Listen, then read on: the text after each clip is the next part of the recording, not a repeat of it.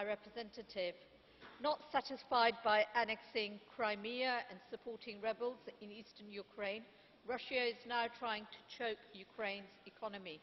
Russia's blockade is impeding civilian and maritime traffic against international law. I fear military force will neither prevent a potential invasion nor de-escalate the situation.